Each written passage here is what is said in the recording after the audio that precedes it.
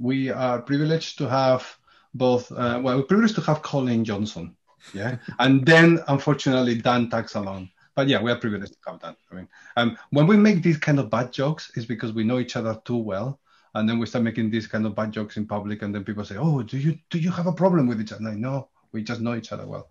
So anyway, um, so we are here, um, joint event, um, London, but also is the the first event of Pro Kanban community Uh, meetup groups.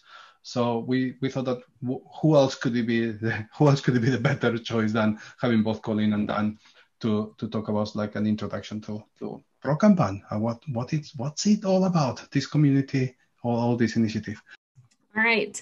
So, like Jose said, we're going to mute everybody for people coming in. But if you do have questions at any point, you can add them to the chat, and Jose can can yell them out at us um, as we go. This is pretty informal. We just wanted to use this as an opportunity to introduce everybody to prokanban.org and what we're trying to build here with this this new community. Um, so my name is Colleen Johnson, as Jose said, I'm the CEO of prokanban.org. I'm super excited about this role, but mostly took it so I could boss Dan around. Um, I'm also the CEO of scatterspoke.com, which is an online tool for online retrospectives. I've been in the Kanban world teaching and coaching teams for um, the last 10 years and in the IT space for over 20. Um, I've been active in Agile Denver on the Agile Denver board of directors um, through Mile High Agile conferences for the last couple of years, and more recently with Agile Uprising on the board of directors. I'll kick it over to you, Dan. Oh, I have to introduce myself. Um, honestly, probably the, really the only interesting thing. I don't know if this is interesting or not, but I I I ran for president this year, and this was my this is my wife's first year of being able to vote in a presidential election. Um, she decided to become a citizen after the depending on your political persuasion, the debacle of 2016. Um, so she's like, uh, "There's no way I'm, I'm, voting. I'm not voting in an American election ever again." So I I ran this year, and I've run every year since 2000, 2004. I can't remember. Can you believe my wife did not vote for me? Can you believe this? She did not vote for me. This only time. So that's the only interesting thing I really have to say about myself is, is uh, that's it. Did she vote for Kanye? No, no, but only Kanye voted for Kanye. Yeah, and Biden. Interestingly enough, Biden wouldn't take my call when I called to concede. Yeah, that was um, thought that was fairly ungracious of him. But anyway. All right, let's see. All right, so the first thing we want to start with is saying, you know, kind of in a similar vein of what you may have heard from an open space perspective, that if you are here and you are interested in what we're doing and what this means, then you belong in this group. Um, it's really important to us that we're building a very inclusive community, that we're welcoming all different um, experience levels. Even if you've never really heard of Kanban at all, we want you here. We want to help um, share our experience, share our knowledge, and bring everyone along for that ride. So um, we're going to walk through a couple different things here around our, our community and our code of conduct and what it means to be a member of the Pro Kanban community. But if you are interested in being a part of this, there is a seat for you at this table, a seat for everyone at this table. So we're happy that you are here. Um, so what is Pro Kanban? This is Dan's words. I'm going to steal them here because I really liked the way that Dan worded this. Um, but it's a community that recognizes that no single methodology or framework has a monopoly on all the right answers, where bridges can be built so we can all learn together. And um, I'm sure it's no surprise to anyone here that there is there can be a lot of friction, you know, in Scrum versus Kanban and Kanban versus Kanban, um, and we want to really chip away at that. So we want to really make a community here where um, we can recognize the things that have been successful, whether they have a name or don't have a name, and fold those into what we know um, and and learn together. Um, and what's really important about what we're trying to build is that this is going to be fluid and things are going to change. So we're going to talk to you guys a little bit about the Kanban guides, the the Kanban guide that's available um, on kanbanguide.org. Is that right? Do I have that right? And on um, linked from prokanban.org. Um, but even that is going to change over time, and we're going to incorporate feedback from the members of the community into that um, kind of learning and adapting as we go as well. Anything you want to add to that, Dan? No, no, I, th- I think you've nailed it. That's absolutely right. Cool. So, what will this community offer for you? Um, we've got a few things. So the first here is um, courses. So if you've looked on the on the site recently, you'll see that we have our first course, which is applying professional Kanban. Um, and this the format of this course will vary slightly depending on how it's offered. It's all virtual right now. Um, and we hope very soon that we can have in-person classes again, but it's just going to vary from location to location. Um, so the courses are posted and we'll show you some of those upcoming classes at the end here um, with some options for um, some of the lovely trainers that are also on this call. Um, and along those lines, there's also a path to becoming a pro Kanban trainer. So if you are interested in teaching classes, um, we are still working through this. So uh, just like everything else, this is very new and we're learning from everybody that's going through the process, what's working and not working and kind of adapting it as we go but we do have an official path now to becoming a pro Kanban trainer. If you are interested in becoming a trainer, you can reach out to support at prokanban.org. Um, I will say that we're trying to be thoughtful of not um, flooding the market with trainers up front until we can prove that there's value and interest in these classes. So we're trying to do um, small batches, small batch sizes of our trainers out in the market so that we can test things and learn and um, really be thoughtful in how we're rolling this out. Also on the Pro Kanban site, we've got our open assessment. Um, and that has been, I don't know, Dan, do we have any numbers for how many people have hit that yet? I mean, uh, it's the number of people who've taken the open assessment is in the hundreds. I think it was four to 500 last time I checked. Um, so, I mean, the, the open assessment is fairly popular right now. Um, probably mostly because it's it's free. Anybody can show up and take it. You don't have to register. You don't you don't have to give us username, email address, anything. You just go and take it and and test your knowledge. Yeah, and I think that's been um, a good path for folks that are interested in the certification assessment. And what's cool about the assessment is that it's standalone. I know that that's that varies from organization to organization, and we've taken the route of having the assessment be separate from the course so that people can choose to study on their own and um, review the resources and the guide from the site and then take that certification assessment without having taken a course. Um, of course, if you do take a, one of the classes, you'll have the option to take the assessment at the end of that as well. Um, and we've been really encouraging folks that are interested in the certification to um, review all of these materials and then run through that open assessment as many times as you'd like to really see what areas you need to focus on and, and continue to review. Um, and then the last thing here is a community. So all of this stuff is great. The assessment's great. The courses are great. Um, the Kanban guide is amazing to have.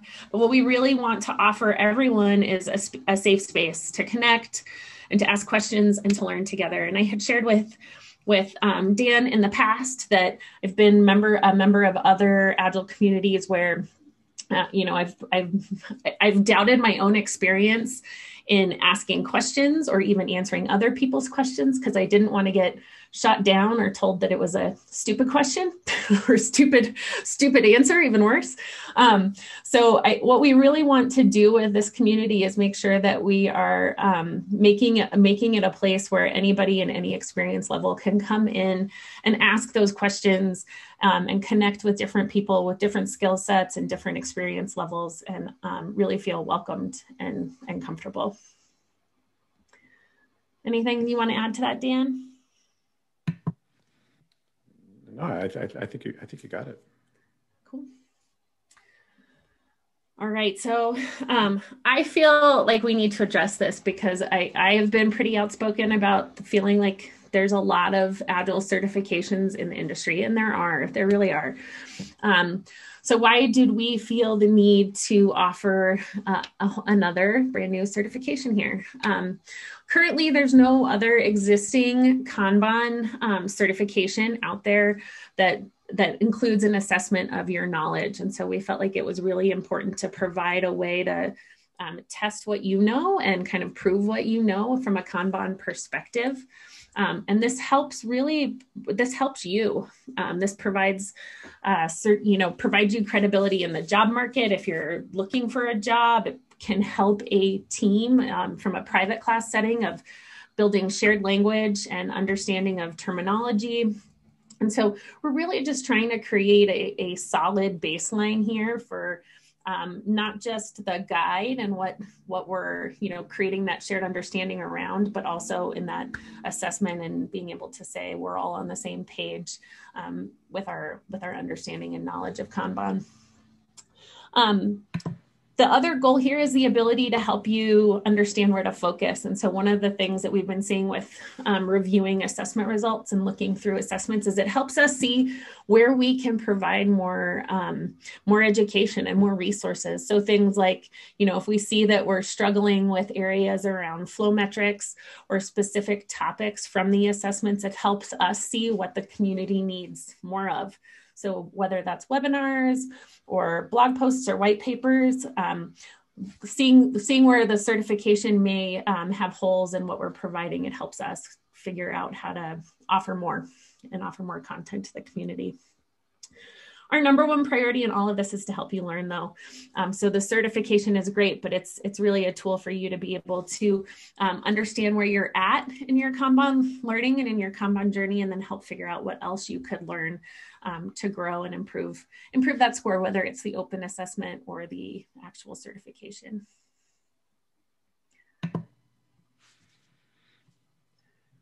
Anything on this one, Dan? Yeah, uh, I actually I just want to say a couple more things about the about the shared language. Um, this probably speaks a little bit more to the to to the guide than the assessment, although the assessment is very much based on, on the guide. Um, but I, I, think it's important for people to know that our our purpose in in writing the guide uh, is not to come up with a prescriptive recipe for what is Kanban. That that's that really wasn't the point at all. It was really more about the the points that I think Colleen has just outlined here. Um, strip out all the um, I don't want to say unnecessary, so let's say not necessary. Strip out all the not necessary bits bits of Kanban and try to get it down to its its absolute essence you know is there a minimal set of things that we as a community can all come together and agree on okay this is kanban and the terms that we're using here this is kanban? Because uh, colleen alluded to this earlier there's way too much energy i think that is invested in terms of you know what what do we call this and what, what is kanban and all that stuff? So what we try to do is just really really really strip it down. Um, and so we, we really do want your feedback and you know on that. But but making sure that people understand that um, just because it's not in the guide doesn't mean you can't or you shouldn't do it. In fact, we've got a section in the guide that says, um, you know, what, what's in the guide represents the absolute minimum set of things that you need. Um, you can and probably should do a lot of other things. Um, so just because you're doing those those other things doesn't mean you're necessarily doing it wrong.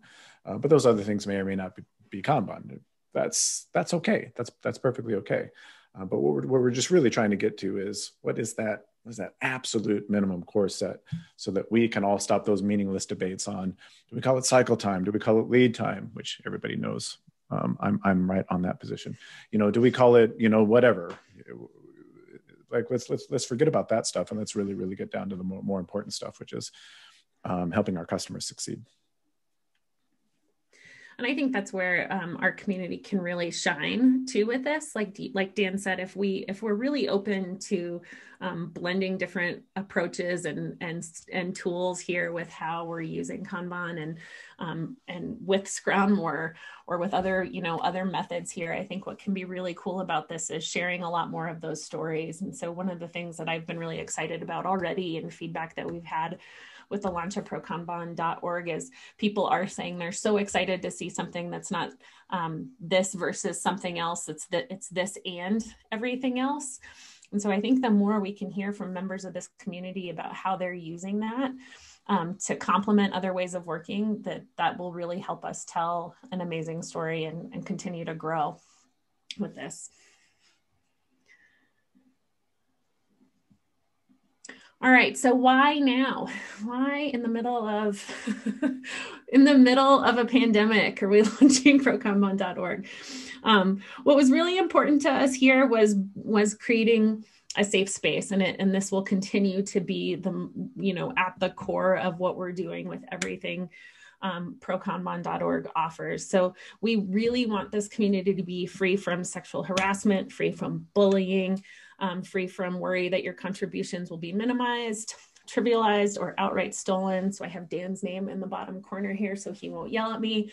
But in, in all seriousness, um, our expectation here is that um, everybody do, do their best to support one another and honor each other's contributions um, to the community so that everybody feels um, safe to contribute here and safe to speak up. Um, you will see on prokanban.org, our code of conduct. It is a little bit longer than this. It's not massive. It's not a legal document, um, but at its core, it is don't be a jerk and be excellent to each other. Um, we also don't want to be in a position of being parents or or the social media police um, through this community either. So what we're hoping is that we can ask that everybody that join us um, in Slack or in you know in classes um, and helping us build out resources that you will help us uphold this code of conduct too by calling out um, shitty behavior or people being a jerk to one another so that um, we don't have to uh, police the, the police the community here. Anything you want to add to that dan? No just just just a, a shout out to uh, chris mcdermott and you know the original incarnation of lean agile scotland for his inspiration in, in putting together this kind of condensed um, a code of conduct and bringing to the forefront the, the, the, need to that. We've had we've had several people from the community weigh in. Uh, Cheryl Hammond, uh, Heidi Helfand, uh, Kat Swatell on on uh, you know why uh, what, what should be in our code of conduct and, and why it's so important. So th- thanks to all of them and uh, you know as as Colleen said, hopefully all of you can can help us evolve this as well. Jose, how are we doing? Do we have any questions coming in through chat? Nothing to date. Okay, great. All right, so how can you get involved? Um, join us in Slack. So, Slack is going to be our number one place for this community to communicate and interact with each other. We do have a link, and maybe Jose, if you could drop that in chat for everybody too, so that they have access to it. I've got a link to it on the slide here, and we can drop these slides in Meetup as well. I don't know if the hyperlink will work that way though. Um, so we'll make sure that everybody has access to that invitation link to join us on Slack. Um, you'll see multiple different channels in Slack. We've got people interested in the trainer path, people interested in taking a course or maybe bringing a private course into their um, company. Um, there's also feedback on the Kanban guide in that. And then I think the other thing is, is figuring out how we can get involved in the community um, maybe post COVID, but we're looking at things like sponsoring meetups, um, trying to figure out how we can offer education into the community and offer a space for some of these conversations. Um, so Slack will be the backbone for this. Um, so we invite all of you to join us in Slack. Um, but I think, like we said with the code of conduct, we do expect everybody to be excellent to each other in that forum. You can challenge each other. You can ask any question of that group. Um, we don't have to agree, but we do have to be excellent to each other. So it is our expectation that everybody in that forum treat each other with, with respect. How can you get others involved? Um, so organize a meetup like this one or host a meetup. Um, you can even host internal meetups. We've done um, a few events where it's been like an internal organization or um, made, maybe a community of practice for a company where they're interested in learning more about Kanban and we can come and talk about what we're doing with Pro Kanban or even a specific topic. Um, for a while, I did board teardowns, which was kind of fun. Of show me your board, and I'll tell you what's wrong with it. um, we can also do some overviews of flow metrics. Um, uh, Julia is hosting an Ask a Kanban trainer next for this meetup, and that's another great way um, to get some voices from the Kanban community out there and sharing um, what we've got to offer. Um, another way to get new people involved is invite somebody who's not part of this group. Um, find somebody who you know might be interested in this or is um, really seeking something new for that for their career, for their team, for their company, and bring them. Um, I think we all have a tendency. We know we know their, our network well. We know these groups really well, and um, there are a lot of amazing familiar faces. But we also want to get a lot of new faces um, in this conversation and in this community as well. Um, so don't just bring them. Also amplify them. Let's figure out how to to raise some people up. um, and help educate folks who or may not even have an opportunity to attend these classes. So let's do what we can to um, try to bring new voices in and, and give them some new opportunities to learn Kanban. Um, answer any questions and welcome all voices. So you will see like we've had, uh, I'm trying to think of some of the conversations we've had in, in Slack to date um, around different topics, but there's all levels of questions. There's people who are brand new and people who are asking for um, help with tools um, and very specific questions in tooling. So there's all different kinds of questions being posted there and we wanna be able to have conversations and welcome, welcome all of that to the table. Dan, anything to add here? No. Cool. All right, so um, we, we've talked a lot about respecting each other. We're all new at this. We were all we were all new at this once. Um, I found this photo. It's from a 10 year old classroom, but I thought it had a lot of great ideas in terms of um, saying someone saying something nice to someone, say hi to someone new. Um, remind someone nicely of your of our community rules and values. Um, that's one that we'll ask everyone to do. Um, give up your seat.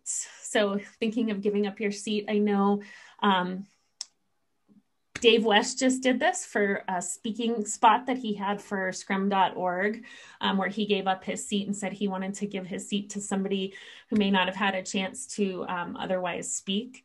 And so we want to just keep thinking about all of these things that we can do to create um, a really strong sense of community and a really strong sense of supporting each other. Dan, what would you add for this one? Uh, I don't. I mean, I don't have. I, I don't really. I don't have. Like I said, I think you're doing a great job. I'm. I'm excited to get to the questions and see what everybody else has. Yeah. Has okay. Well, let's run through kind of what's next on the schedule, and then we'll open yeah. this up. Um, in terms of classes, so if you go to prokanban.org, you will see that we have classes coming up as early as November 30th with Julia. Um, John Coleman has a couple classes in December and then January, and Jose and JP have classes um, early in March. So if you're interested in taking any of these classes, please go check them out. Um, also use the resources that are listed on the site. Read the guide, read it twice before you take the assessment or Dan will make fun of you. Just kidding, he won't.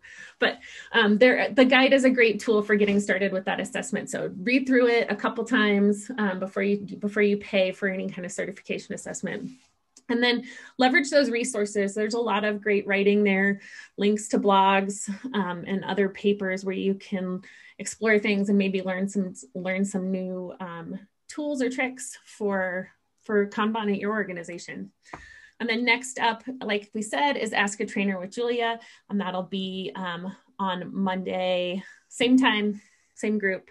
Um, so if you're interested in learning more from Julia about what she's going to be working on as a, a official trainer for Pro Kanban, you can ask her more questions there.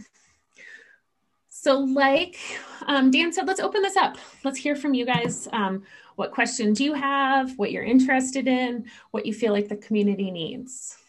So, yeah, so there was there was one thing, a couple things in the chat that I wanted to um, uh, that I want to address because because it looks like there was some discussion about uh, a lot of you have a KMP certification. Why do you need another one?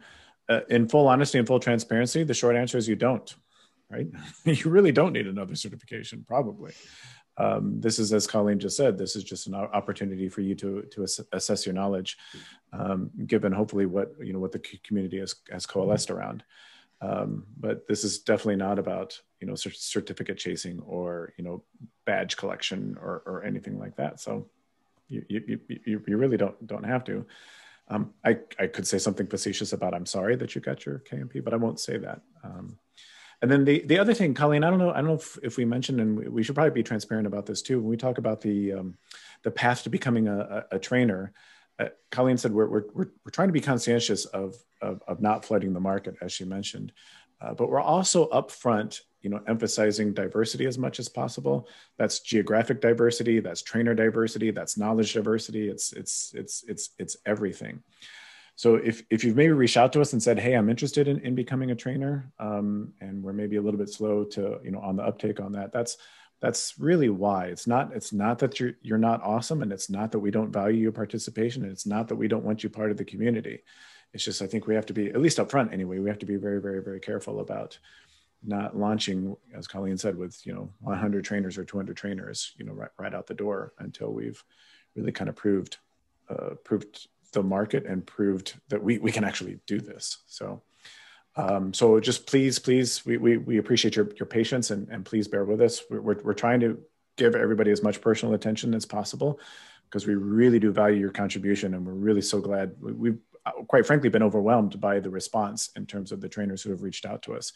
Um, so um, I just want to make sure that, that that's out there. If you if you if you haven't seen much progress, that's that's why. And so our apologies, and I I, I promise we'll get you as quickly as possible, as quickly as we can. Yeah, and I think the other thing, I mean, this isn't this isn't specific to a KMP course, but you know, in the industry in general, I think there's a handful of courses where you can take a course and you know i've taught these courses where people drop out halfway through or leave leave the room for um, an hour to go to the bathroom and never come back and still walk out of that class with a certification. And so i think what we're really trying to do with the exam too is is validate that learning um, and create and create a you know a way to show that you understand everything that was presented in the class so that this isn't about you know for for lack of a better way of putting it like buying your certification um, so we're really trying to create that validated, validated learning credential as well. Okay, so if we're going to go into Q&A, got two options. One is please type your questions in the chat and we'll try to pick them up and, and, and read them out. But you can also mute yourself and ask your question verbally. In order to facilitate that, please, um, if you go to the participants window, you have the icon to say raise hand. So please let us like manage like who, who will speak last yet. Next. Um, so if you can go to the participants button, if you can go to the participants button, um, participants area, and then uh, raise your hand, that would be great. Uh, otherwise, questions, any questions, any any any thoughts, any sharing, any feedback, for these two. Okay, so we got a question here in in in thank you Marcel. Um, we have a question in, in the chat. Okay, what's the difference between what's the difference in pro Kanban thinking, not speaking about certification? So what's different in pro, in pro Kanban thinking? So so Henrik, would you, would you? Thank you. Oh, sorry. I was just going to ask for a little bit more clarification. I don't mm-hmm. Colleen, do you have an do you have an answer already? I was just. No, let's hear from Henrik. Yeah, I know. Yeah, Henrik, if you can maybe unmute yourself and say a little yeah, bit. Yeah, yeah, sure. Yeah. Sure. So uh, you you just you know spend quite a lot of time talking about the certification and the assessments and whatnot. But uh, talking into the thinking about Kanban, what what's the main difference in, for instance, uh, yeah, the KMP and whatnot? I, I, didn't read the guides yet or whatnot. I'm just you know jumping in here. So uh, so what's what's the different thinking? I guess there's some some kind of different thinking. And you you said something about should it be lead time, should it be cycle time? And I mean that's not you know for me that's not really a difference it's, not. Just, yeah, you're right. Yeah. yeah. Uh, Colleen, were you going to say something about that? Yeah, I was going to say, in in in my opinion, I think one of the biggest differences I see in this is is that it's not prescriptive. There's not a lot of rules, and um, there's not a lot of things that you're going to see in the guide where you're doing things wrong, or there is there these are the must-haves, or or it's not Kanban. Um, you know, I think there's some some ideas that we have around things that you measure and things that you should be doing, and having conversations that you have with your team um, but it's not really prescriptive in the in the sense that there's um, this handbook of of laws that you have to be following. Yeah, and, and from from from my perspective, all of that and um, the the the Kanban, the way the pro Kanban talks about it, really to me is is more about uh, is really more of a focus on flow, right? What is flow? How do you achieve flow? How do you improve your results using flow? it's not it's not a change management methodology it's not a methodology at all but it's not specifically a change management methodology it's really more about how do we understand flow um, to get to get better results by using flow so when you read the kanban guide you could very in my humble opinion you could very very easily substitute flow for kanban in pretty much every part of the guide and um, you, would be doing really really well you'd, you'd probably understand you know potentially better um, there's a there's a philosophical debate, uh, um, and and maybe this is better over alcohol too. In many ways, Kanban is a terrible word for what we're doing. It's mm-hmm. it's it's terrible, terrible marketing. Um, but but it is what it is, and it's what the industry has accepted. So that's I think that's why, why we're going with it. But to me, that's that's the big the big thinking. It's it's it's really centered around this idea of flow. Okay, thank you. No, great question. Thanks. If I if I can add one if I can add one thing here because um I, have been doing Kanban training and coaching for eight years now, um, and one thing that I really like when I read the guide for the first time, or the latest version of the guide in particular, is that it really really captures the essence of what is actionable Kanban. So I've been I've been doing a lot of training and coaching, and many times like the, the enablement of teams to start really getting flow into their environments is really well captured. There are three simple practices. It's all about yeah, the visualization, managing flow, active management of flow, the metrics to help us make decisions, all those things. And, and, and that's a great start for most organizations, teams, organizations, whatever. Yeah. So I, I found it really, really compelling message to say, like, if you want to start with flow, this is the minimum. And from here, hey, keep going. Uh, and that, that's that's the most persuasive aspect of what, what I think that guide. How long is it? Is it ten pages? Not not even. I think the meat of the guide is probably somewhere around eight. Okay, so in, in eight pages is capturing this thing. I mean, obviously, um, experiencing what it is is different. I mean, it's, it's very concisely written, but obviously, it's not that straightforward to actually making it happen. But if you want actionable essence of Kanban, got it, eight pages. Sorry, I had to say that. I saw a really uh, was an interesting question somewhere.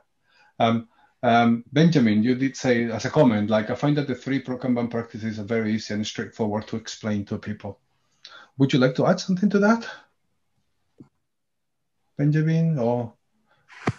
Uh, no, nothing. Just it was just that comment. Really, I, I find it kind of easier and straightforward. You know, three is a a simple number for people to remember. I think if you get beyond that, you start forgetting things real quick. Um, and, and it's all just very intuitive. It's, it's, it's very, it's very straightforward. It makes sense. You know, you don't have to memorize each word. It's just three things to keep in mind. Um, so even, even, I don't know, I'm trying to avoid the whole compare and contrast thing, but I've been thinking like six practices and six principles. It's just that like, you know, half that's going to kind of fall by the wayside, at least initially. So um, I, I, really appreciate the the three, um, and I think it's it's just a really basic structure that people can constantly refer back to.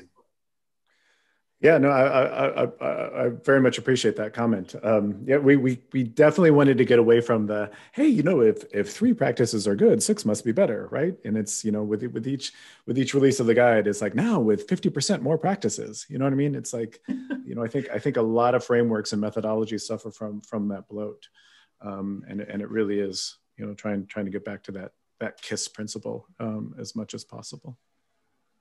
Good. I saw Claire asked a question too here about um, geographic locations of trainers. Mm-hmm. We can jump over to that one for a moment. And we are trying to be thoughtful. Um, we we've recruited some trainers in um, Africa, and we've been working with folks in Europe and U.S. Um, I think that's the most most folks right now are from um, from UK and in the US. And in terms of minimum experience and knowledge, we're looking for a score of 95% or higher on that assessment, so higher than the 85% passing score. Um, and then if you are interested in that, we'll kick off conversations. Even if you don't hit 95%, we'll work with you and talk to you about what you missed and review those questions with you um, and partner you up with different um, existing trainers so that we can help you um, get your score up and help you understand what areas you just need to beef up your knowledge on um, to get through that process. Um, we're adding, we're kind of adding new steps as we learn too. So we're, we're working on adding in trainer interviews um, and opportunities to either sit in courses or train the trainer style courses where you can walk through the materials with some of the trainers that have already taught the class. Um, so Claire, feel free if you if you're interested, you can ping me on Slack directly. Um, there's also a trainer inquiries channel where you can find out more info on that process. Yeah, and and, and please please please don't.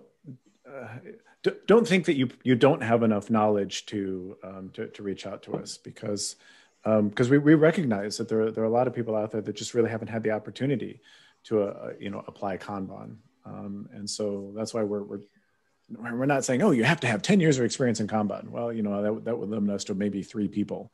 Um, so it's like, it's, it's really, it's really about us getting awesome people involved. And obviously all of you are awesome. So um, yeah, we'll, we'll work with you on your experience. We'll work with you on your knowledge. You know, we, we, we like I said, our, our, our aim is to, to build a great community. So please don't feel like, oh, I don't, I just, I've never done Kanban or I don't know enough about it. Um, we, we will do what we can to, God, I almost said make Kanban great again, but I don't want to say that. So never mind. I didn't say that. okay. okay. Okay. Um, we um, we got the first person with a raised hand. So uh, Dylan, would you like to?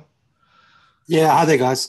Um. I haven't read the guide either yet. Um, but from the sounds of it, it sounds like um, there's there's three practices defined. And so I'm like I'm I'm sorry if this I don't even know how to ask this question. I'm sorry if it's a stupid question, but from from like Kanban, there's there's there's more than three practices, you know, from what I've learned, and there's there's other principles in that. So, I mean, are they like a summary of those? Are they different? Is that going to cause confusion if my thinking's right that pro Kanban's got practices and Kanban's got different practices? So I don't know if this is making sense. Yeah, it, it, it is. Colleen, do you want to do that, or you want to take? Or you want me to take that? You go ahead. She's going to let me step on all the landmines. Okay, thanks, Colleen. Um, we have to be careful. We, we have to be careful between um, what we call Kanban and what is generally known as the Kanban methodology. Unfortunately, a lot of people use the word Kanban when what they really mean is the Kanban methodology, which is a very, very, very specific approach to change management that is delivered by you know a certain organization out there. Um, we we talk like I said when we talk about Kanban, we're talking about flow, like it's it's it's it's it's its essence. So I mean, I guess to directly answer your question, I, it would it would technically be a subset of maybe all the other things that you've heard about Kanban. But I think the the argument could be made a lot of the stuff that people associate with Kanban really has nothing to do with Kanban. Not not that it's necessarily bad. Don't get me wrong. Not that those things aren't necessarily you know that you shouldn't be doing them, but they're not necessarily Kanban. Um, and, and so I guess that's that's that's really been our approach is what is the absolute absolute absolute minimum stuff that we that we can call kanban so separating out kanban the you know the flow strategy from kanban the kanban methodology which is a, a change management approach really and yeah, do you, do you jump in? Go ahead, please. Somebody, somebody, help me because I'm flailing. Please, Julia, please. Yeah, go. No, I just I wanted to say because I mean I learned um, the the first way I ever learned about Kanban was through learning the Kanban method, and um, I mean that served me really well. I think when we're thinking about what the difference is between these two, we're not trying to come up with a different definition of Kanban, like Dan said. It really is if we go back to this guide uh, is a simplified version of what kanban is. It's taking everything down to the bare minimums. So that's you know jose in the chat put you know the three practices down and those are practices that are generally in the other practices in the kanban method. But we're leaving out things like assuming that you always must start where you are or assuming that you're going to you know uh, pursue evolutionary change. evolutionary change right dan? You can pick it up from here. Oh, no here you keep going you keep going no i i wanted to get you to here because you've talked about that yeah no i yeah no I, I agree i was i was i was i was trying really hard not to do a direct compare and contrast because that's really not not what this is about. Well, I mean, uh, Dylan, are, are we are we helping at all? I don't know. I don't the know. question was about the differences. I think it, yeah. it, helps to call them out specifically. So those the the few things that are left out, they're not left out because they're bad or they're wrong. It's that those may be great for your context. And so they're complementary things that you can add based on your context. Um, so what we're trying to codify is the framework, the immutable framework and then you can build on top of that with whatever bits you need. Yeah, I mean that that helped that helped a lot. My, my intention the question wasn't about comparison; it was actually probably more along the lines of, do you not foresee this potentially causing confusion? Because I think anybody looking at like the title, they're just going to assume Kanban is Kanban and not get the difference between one specifically around flow. You know, what's the minimum that you need versus the other one's a method. Um, yeah. That's that's all I really wanted to point out. Yeah, no, It, Go ahead. Can I add something? Because if you if you look at the three practices that you have in Kanban, it actually um, it's, it's it's again it's it's a simplification and it's collating whatever it might be in Kanban method, for example, into three simple ones. Um, Kanban method, for example, talks about policies. Policies are potentially part in, of your definition of workflow, which is the practice that we, ha- we have in Pro Kanban. So it's not like it's neg- because they are not there, they are negating them. It's they have been expressed and communicated maybe in different ways. Um, what Julia was saying there as well is like some of these things that we, we have seen in Kanban, yeah, or we use in Kanban, they're not necessarily universally applicable all the time. It will be your context might determine that. Evolutionary change is not always the right answer. Uh, starting where you are now is not always the right answer. I mean, those are not practices, those are principles, by the way. So, but they're not always potentially applicable. You might be controlling WIP without actually applying WIP limits. Yeah. So if you want to go to the absolute minimum, some of those things are very, very common, but not necessarily, you know, uh, they don't necessarily have to be there all the time. And I've seen many, many teams who have been brilliant at doing Kanban where they might not have those things. I stop there. Well said. Yeah, yeah. So yeah, so I mean, will yeah, will, will, will there be confusion? Probably. There, there, there, there probably will be. Um, uh, um, I don't know what else to, to say about that again without getting myself into trouble. So I have a very backlog, long backlog of questions, options here. Okay, um, so I'm gonna I'm gonna try to select as I go. There was one that I really I really uh, would like to pick up. Is like, um, uh, thank you, Anjali. Is uh, is there any significance to the pro part of Pro Kanban? Ye, uh, is Colleen, you or me? Well, I was going to say, I, mean, I think I think there's two parts to it in my mind. Hmm. The the um, application, I think, first of all, and and how you can use Kanban uh, where you work, whether you know, and I and I think somebody mentioned in the thread here that it's not necessarily IT specific, right? It can be HR or marketing or any you know any part of of your organization where you can improve flow.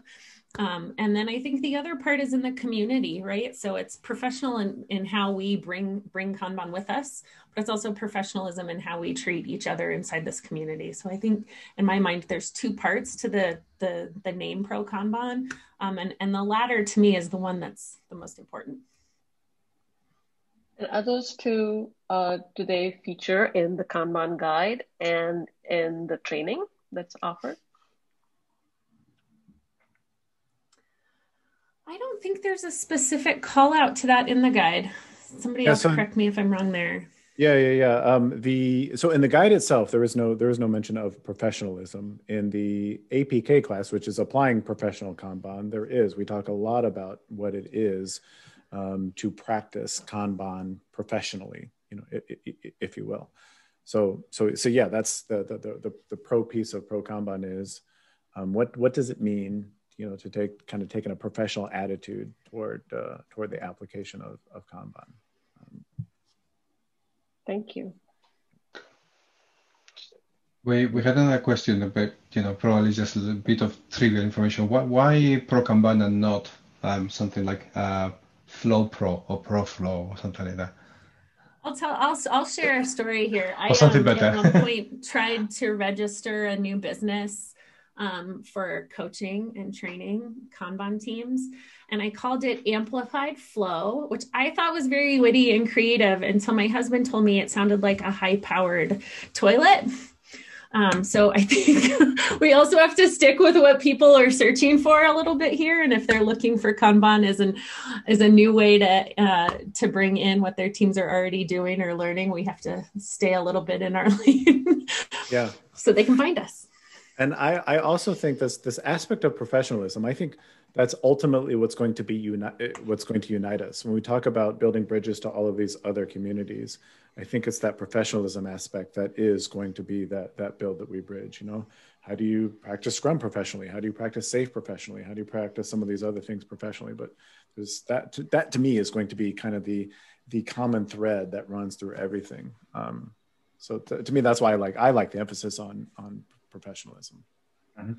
Okay, great. Um, I think we have a uh, Cornelius would like to have a question. He was trying to raise his hand. Cornelius, could you unmute yourself and ask a question? So probably delve a little bit into the details. I'm I'm a big fan about learning. It's kind of one of my principles in life. that guides me is to always learn something and um, number two, have fun while I'm doing it. Um, I'm trying to I, am trying to read the guide as you just posted now, but the questions in my mind is when when I've introduced um, people to Kanban in the work environments, um, I've never really always followed the official Kanban method itself, but I always started with let's just simply visualize the workflow, you know, the stages from beginning till end, or from when the idea comes up, that it goes through the whole cooker until ding, our customer has it. And then once we visualize that, because the magic is the visualization for me, that it's visible, because when we see it, we can talk about it, we can discuss and understand it. Um, so once we've got that, then we have to do a couple of key things, which is to limit the work in progress. Why do we do that? So we can start changing and tweaking things to understand where we can improve, you know, the work we do.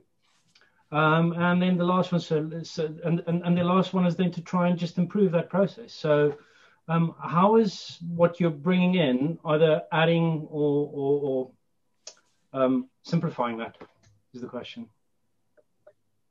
Does that make sense, my question? So th- this is kind of what Kanban set to my mind is those three things um, originally. And as part of my learning, what is um, what can I learn from Pro Kanban to use going forward? I think it sounds like you have a great foundation here. I mean, I think the way you you summarized that, you boiled it down to what exactly what we're trying to focus on and, and simplify with this, and kind of step away from all of the the the kind of other rules that you mentioned, and just focus on that um, the workflow and the flow of value. Um, I would say some of the other things that you could expect to learn in the course itself um, would be more focused around flow metrics and what are the most important things that you can measure and be tracking for a team to help to help keep that focus on flow and the movement of, of value.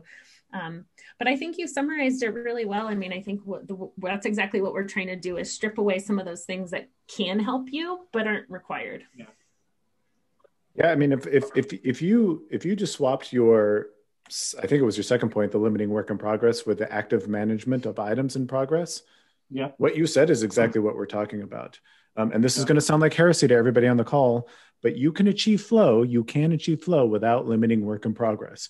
It turns out limiting WIP is the by far and away best way to do it, but you yeah. can achieve flow without it. Um, and and that we we put a much I would well maybe maybe I say we the royal we me me um, I put a much higher emphasis on like focusing on age of items rather than necessarily controlling work, uh, controlling work in progress. I think that's a much more powerful way to get to. But but I mean, I, but my point is we're in violent agreement. I mean, if, if you were just swap that language, absolutely. The way I always yeah. saw the limiting work in progress is not th- th- that mechanism itself, but the activities around it. Yeah. Um, it's the activities by us trying to look at what is either enabling what we're looking at to go faster or slower, so mm-hmm. the analogy that um, I got an example years ago is imagine you've got these little tubs of water, and if there's a problem, there's something in the water that you can't see is slowing the flow of water from one tub to the other. But if you reduce it, you might see that there's a, a, a blockage there, and that's mm-hmm. really it's it's a tool. But effectively, what you're trying to do is manage, or as you would use the word manage, but trying to understand what you can do to increase or um, speed up or slow down um, the flow from beginning to end or from idea to customers using something. Mm-hmm. So, yeah. Excellent. Okay, um, there is another question. Uh, Dale Matthews, would you like to ask your question or you want to mute yourself? Uh, hi. Yeah, I, am kind of. I was kind of going in a similar direction, I think, to Cornelius, and and, and again, I'm I'm in, in violent agreement in, in many ways. Um, my question was really about why why Kanban? You know, why use the term Kanban? Uh, and I understand the sort of thing. You want to anchor it somewhere, you know, so people people at least coming at it thinking it's about this and not about sewage. That that that makes a lot of sense. But my you know this is where i think i'm in the same similar place to to cornelius because people get really hung up on saying well we are going to do kanban or we are going to do scrum or we are we are doing safe. And you know they feel it, it kind of boxes teams into a, a, particular way of doing it. I really like the three the you know the three basic principles because this this is what it's about. You know how can we get how can we get the work through and done you know good quality without killing the team you know and, that's all that matters and and whether it's it's it's from you know come come straight out of um you know the the kanban uh, David Anderson's book or or or from Ken Schwaber or from just making it up. If I wander into a team and say, wouldn't it be a good idea if we wrote down somewhere how we want to work? You know, and that turns out to be the same as the policy as described in the, you know, Kanban training I've done. You know, does it does it have to be Kanban? I think the answer is no. I mean, it doesn't. But I, I also would like to lean on um, Dan a little bit here to talk about maybe the origin of, of Kanban a little without going into too much detail. I mean, I think that that's the other piece that's kind of important in, in what we're trying to do too, in respecting people's contributions and background and experience here. That um, at its core, the the what we know as the Kanban method now might be slightly different than what it was in its original incarnation and um, changed to some extent. And I think um, Dan, I'll lean on you here, but we're trying to get back to that core, um, core, core origination of what this was and and how simple it can be. Yeah, yeah. I mean, yeah, just by and, and this is just my my own personal frustration. So I'll apologize if this if, if it shines through a little bit too much. But um, that original team that I was on, that you know that that you know the stuff that we did came to be known as as Kanban. What we what we at the time called as Kanban looks almost nothing like what the world right now I think understands as Kanban. It has been, and I use this word, people I think people get angry when I use this word, but I really mean it. It Kanban has been perverted over time, you know, away from from its from its original intention. Um, and so yeah, that that's for me personally, that's why Kanban, because when I read the guide, when I read the guide that we wrote, that's Kanban to me, you know. Um, and like I said, like th- there was, as you can imagine, when we, we were getting the community together, Jose can probably speak about this. Colleen can speak about this. There was a lot of debate around what we, what do we call this thing? Should, should we actually use the Kanban word? You know, because uh, obviously you can see even on this call, I think there, there's going to be, be some confusion. Uh, and unfortunately, I think that that train had sailed, right? And so we were kind of stuck with, yes, I said that right. Did anybody pick that up? No, he laughed. I didn't see anybody laugh. The train had sailed. No. All right. Anyway, um, that it was kind of out there in you know in our com- common parlance. So i think we were kind of stuck with it. And that's that, that's honestly the biggest reason i think why we're calling it kanban is just because it's it's this albatross around our neck that i think i don't know that we can do anything much about. I'd love to call it something else but that's yeah. Anything with flow sounds a bit i guess that sounds more like sewage than process you know? I, I wish I, would be open. I mean, if anybody has better ideas, I'd be open for for for, for different thoughts. But we're probably we probably are just too too far down the I'm track. Right, I don't I don't have anything better. Yeah. yeah. looked like Simon had a hand up. Simon, do you want to unmute? And yes. Can I just a quick question? Uh, um, if um, one thing that we're going to put on chat later is like, if you want to find out a little bit more about this history of how Kanban happened, uh, we'll share the link to the session that Dan did about the, the secret history of Kanban at LAC 20. It's in our in our um, YouTube channel, but we'll put the link on the on the chat in a minute. Okay. Um, so, oh, there you are. I might just put it on the chat. Um, Simon, all yours. Sorry for interrupting. Yeah, no worries. Uh, so my question is very much about the community. Um, before I say anything, I just want to declare an interest. I do work for a company that makes community software. I'm absolutely not representing them, um, but just just for trust, I want people to know that. That's fine.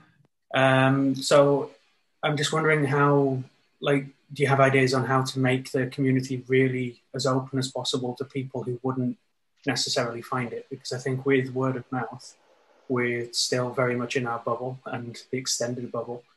And if you compare scrum.org, for example, it's on a web page. So there are plenty of times I've come across people who said, Oh, yeah, I've seen that thing written on scrum.org's forum.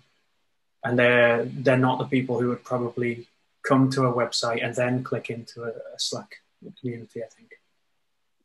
This is a fantastic question and one that I, am really passionate about. I mean, I think getting new voices and new people and and making this group um, d- as diverse as possible has to be very deliberate and intentional. It's not going to happen on its own. It's not going to happen from people googling how to become a Kanban trainer, like you said.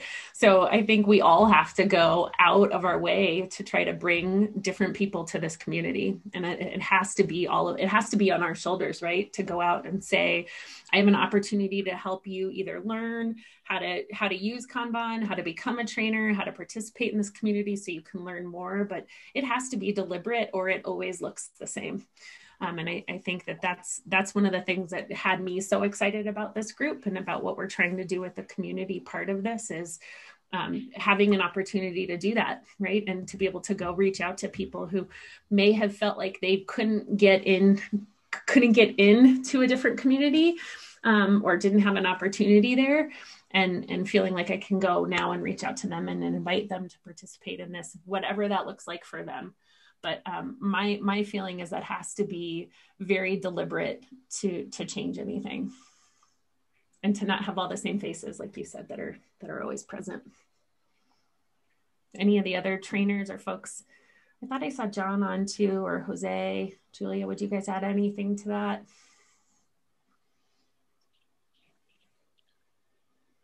Uh, I was doing admin at the moment, so looking at questions. so I'm totally out of this. Sorry, I declare that. Sorry. Yeah, and we certainly welcome ideas for for making yeah. making this more inclusive, um, more more diverse. You know, we we mm-hmm. last I, you're right. The last thing we want is an echo chamber. You know, so how do we um, how do we get these new voices? Um, uh, actually, when we started the conversation before I, I, I was doing the admin, one thing that really struck, um, I think Kanban, and someone, so I was looking for a comment and I cannot find it now, is we can take Kanban a lot, the non-IT conversations, non-IT language as well. Kanban, flow management, flow thinking, way beyond IT. In many, many, many areas of many businesses, there is there are teams and organizational uh, units and so on, which are screaming for something like Kanban as well. And, and there, there are communities that probably are still underserved um, by what we could potentially offer. Yeah. So this community, I mean, the, the, the, the what, what Kanban could help to businesses could be much, much, much bigger, much, much more impactful than it is even today. And, and, and it's made, you know, it has made a huge difference to many, many organizations, but it could be even more. So I think I'm, you know, I, I I'm connected with saying Simon because I think that there is there is there is a lot of people out there that could that we could all benefit from what we're doing at Kanban. So I remember.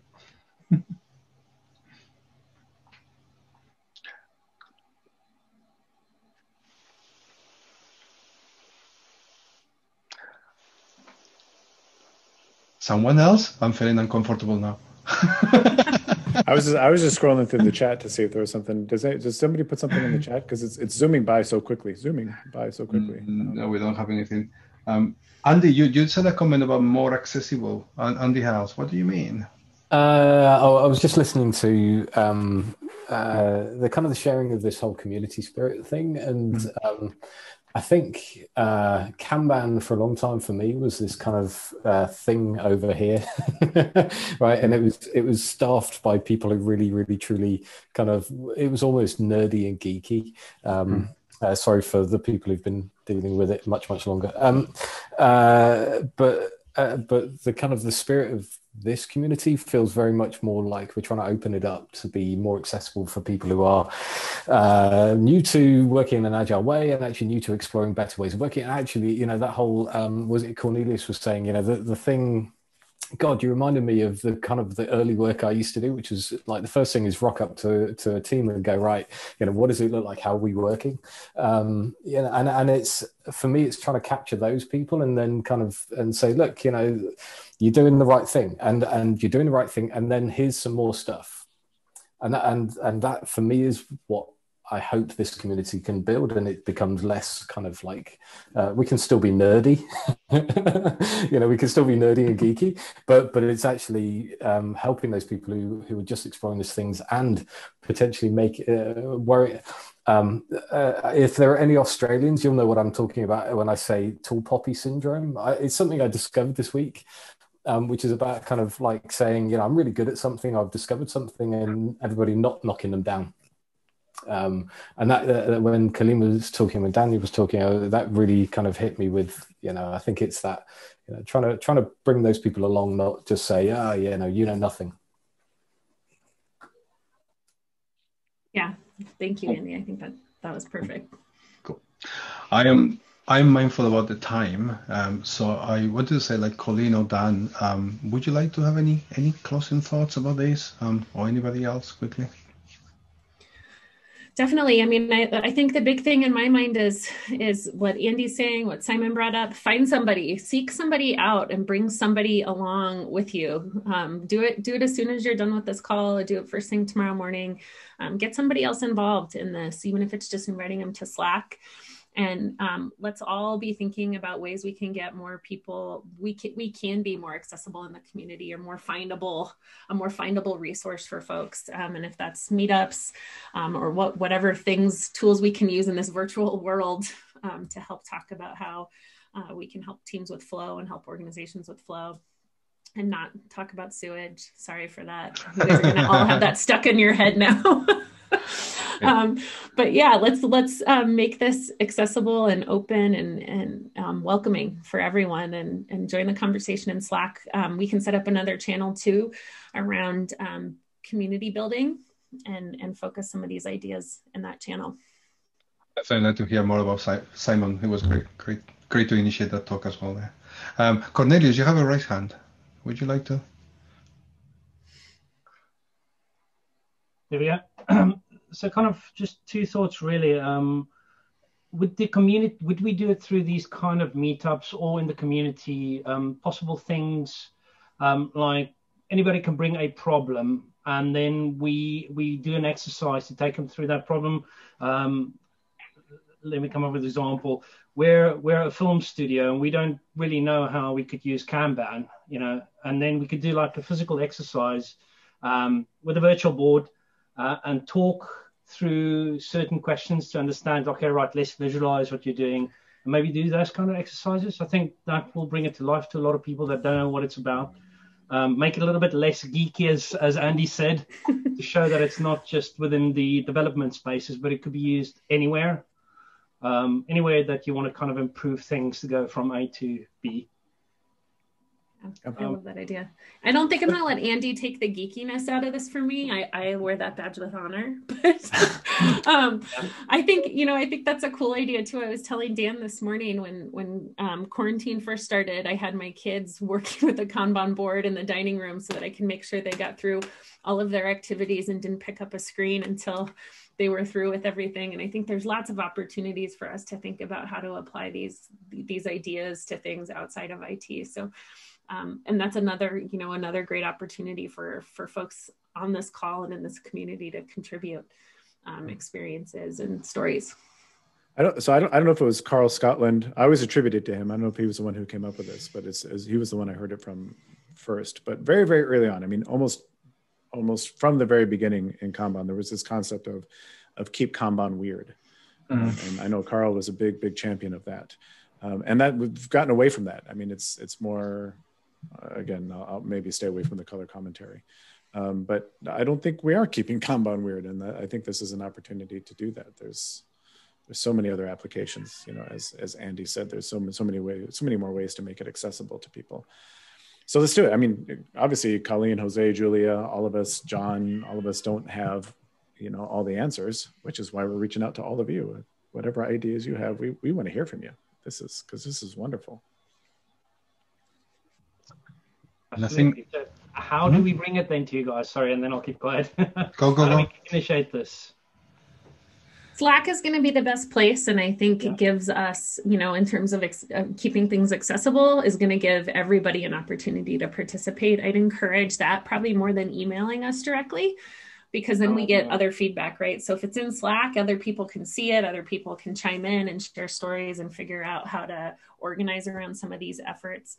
Um, I think, you know, we've got, a, we, like I mentioned, we, we're trying to kick off a community group to organize different ideas to engage the community for any of these efforts. I think whether it's gathering stories. I saw some, um, James posted some questions around um, mentoring. We could set up a channel for um, people looking for a mentor and people willing to be a mentor. So um, I would say Slack is going to be our hub for all of this because it's going to have the most eyes and the most, um, the you know, the greatest ability to reach people. Thank you.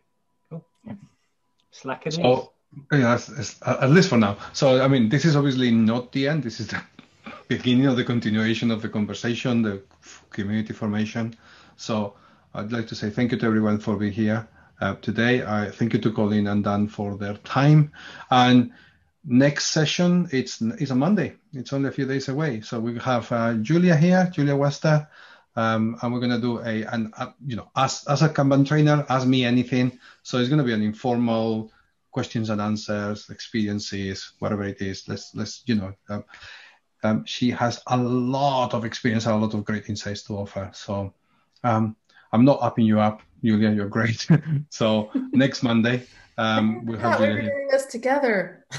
yeah, i will be there for you, but yeah, I'll, I'll contribute yeah. occasionally. Yeah. And um, so, uh, and also, um, it's not on the meetup group yet.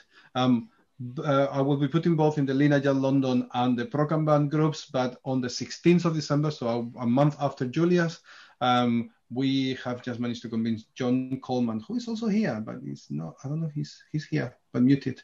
Um, but John Coleman is another Kanban trainer, and he okay. will be doing another session. Here you are. Um, John is the, the co-author of the Kanban guide alongside with Dan. So we have like Julia, lots of lots of good stuff, actionable agile questions as well if you want to do metrics, all those things. And then a month later we have John um, also doing any questions. And we'll try to do these kind of like uh, regular Q and A's, um, hopefully on a monthly basis or so. So with different people and, and regular stuff. So thank you very much. We are at the beginning of this journey, and you know maybe we have like some good stuff happening in 2020, this decade-long year. Um, yeah, th- thanks for everybody for showing up. I mean, this is this is this is wonderful for for our first shout out. Um, mm-hmm. take taking time out of your evening to come talk about process. Who who'd have thunk it? so thank thank you so so so much for for the passion, and we look forward to working with all of you. Um, in, in the future going forward. And we'll put the video on the YouTube, YouTube channel as soon as we can, and we'll also share it on the Slack. So, thank you. Thanks, everybody.